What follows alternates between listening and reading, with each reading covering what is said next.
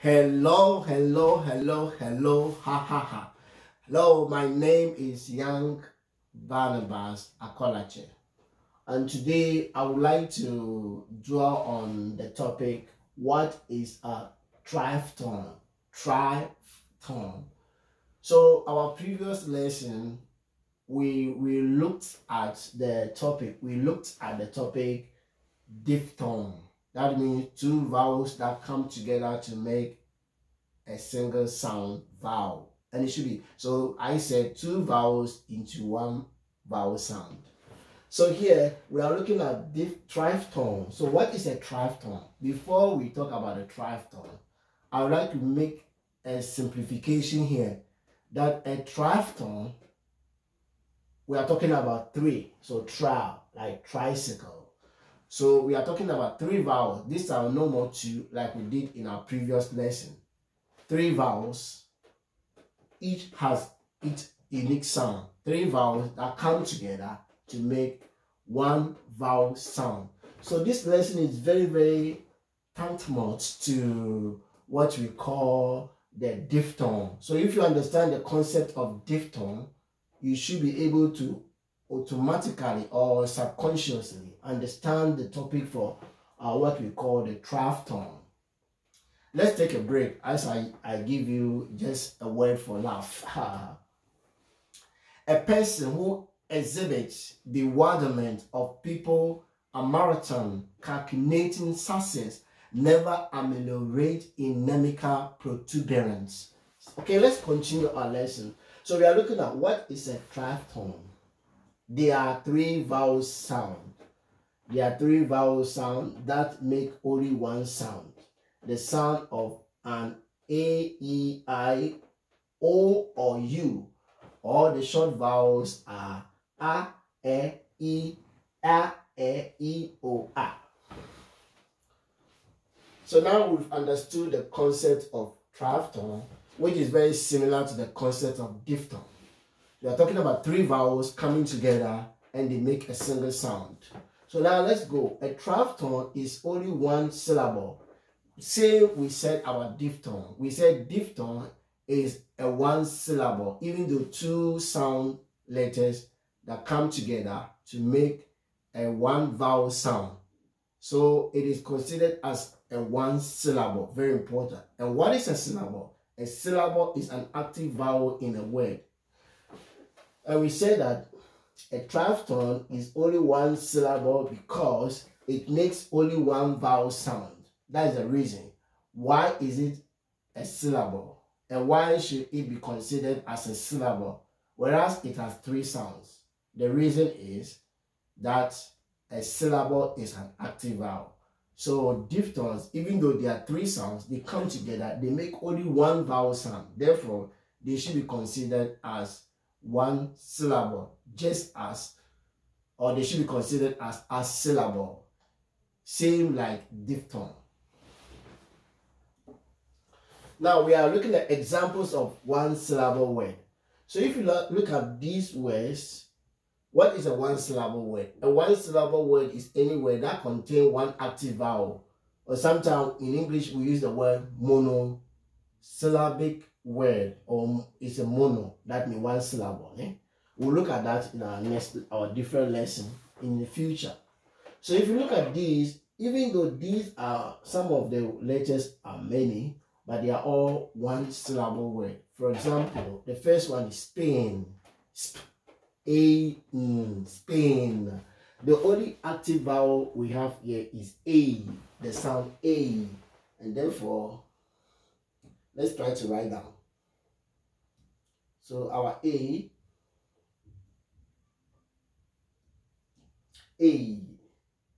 So this is the only active vowel. Therefore, it is a monosyllabic word or one syllable. Mono means one.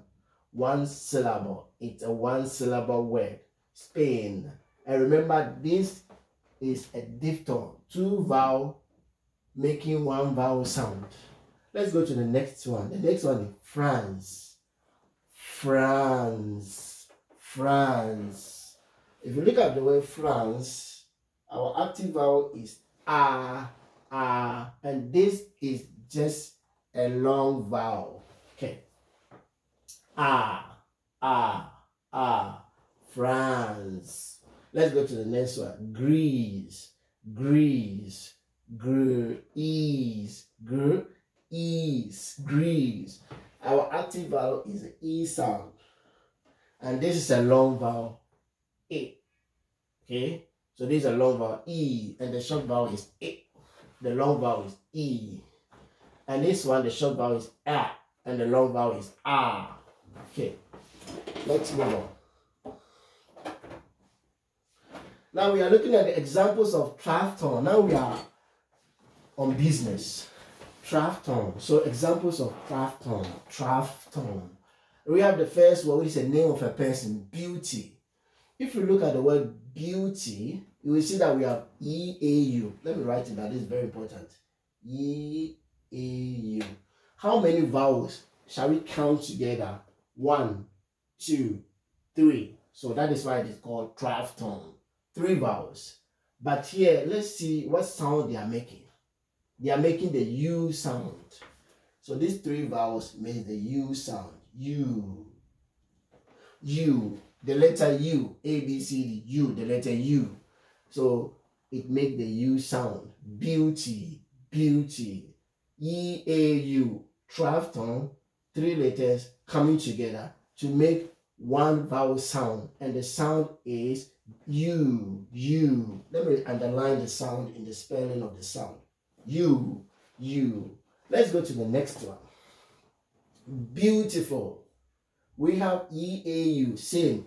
E-A-U. Three letter sound coming together to make one vowel sound. And the sound is you, you, you, you, you, you. The next example, the next example is cautious.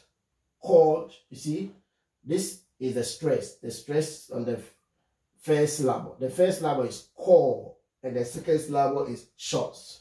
Cautious, cautious. And here, our triphthong is I-O-U. If you look at the I-O-U, what sound does it make? it make the uh sound uh uh so i o u make this sound. Uh uh call shots. Call shots. Let's go to the next examples.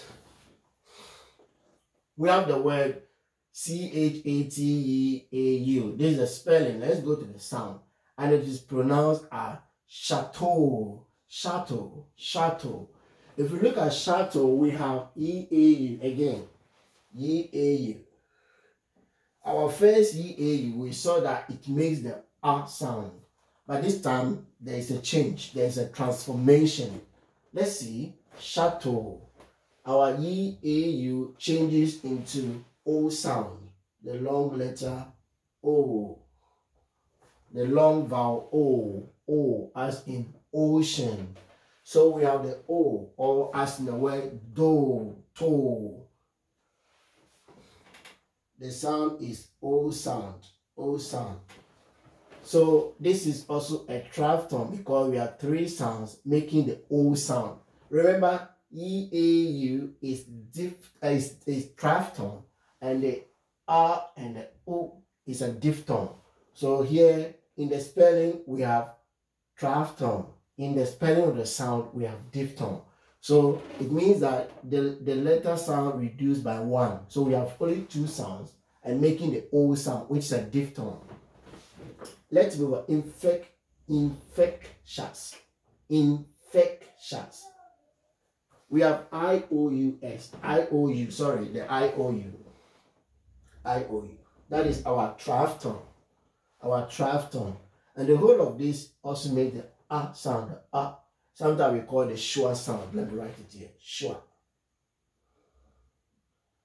The most popular vowel sound in English, schwa. The most popular or most frequent vowel sound in English, schwa, schwa, schwa. Infectious. Infectious. Let's go to the probably let's go to the next one. Precious. Precious. Precious. Precious. Precious. Precious. We have IOU. Let's underline IOU. And it makes the sound uh, which is a schwa. Again, same sound. Schwa. Schwa. So this schwa is very frequent in English. Let's go to the next, last our last page. We have a word like malicious, malicious, malicious. So our stress is on the L, ma, it goes up, malicious, malicious, malicious. And you see that we have IOU. Our IOU make the sound uh again. The schwa, the schwa sound. Uh, uh, uh, like in a words, like in these words, about, ago, up, up. So, malicious. And remember, you see, the stress is on the second syllable. Why? Our stress is on the second syllable. This is the second syllable. So this is a three syllable word. Ma, one syllable. Li, two syllables. And shas, three syllables. Why? Because there's a vowel, there's a vowel, there's a vowel. So we count syllables by the number of active vowels. But here our stress is on the second syllable because in English there is a rule with pronunciation. The rule is that whenever we introduce a schwa in syllable, it means that that syllable should be unstressed. We should not stress the syllable. So I cannot put the stress here. No, it's not allowed. So you cannot say malicious. No, the L goes out. Malicious, malicious, malicious. So the L is stressed. That's the second syllable. This is very important notice. And we have the next word is sa. Don't put it together. We are pronouncing according to syllable. The first syllable is sa, and the second syllable is speak, and the last syllable is shas. Three syllable word. Sa, speak, shas. Sa, speak, shas. Again, the stress is on the second syllable because of the schwa. The schwa in English should never be stressed. That is the rule. Sa, speak, shas. Sa, speak, goes out. Suspicious. Suspicious. So we see our IOU making the same sound as the schwa. Uh, uh, the schwa sound. Uh, uh. So we look at when we, we, we look at the lesson on triphthong, we can see the schwa sound appeared frequent. That's why I told you that it's the most frequent sound used in English. We'll end our lesson and see you. Bye.